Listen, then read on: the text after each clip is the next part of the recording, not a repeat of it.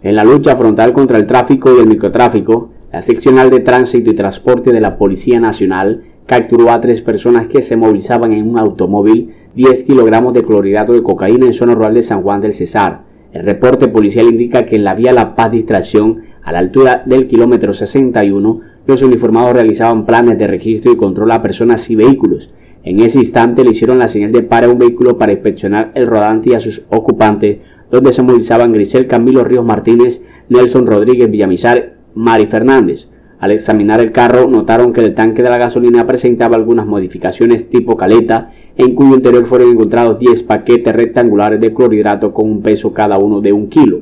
motivo por el cual les materializaron las capturas por el delito de tráfico, fabricación y porte de estupefaciente y los dejaron a disposición de la Fiscalía Uri de San Juan del Cesar.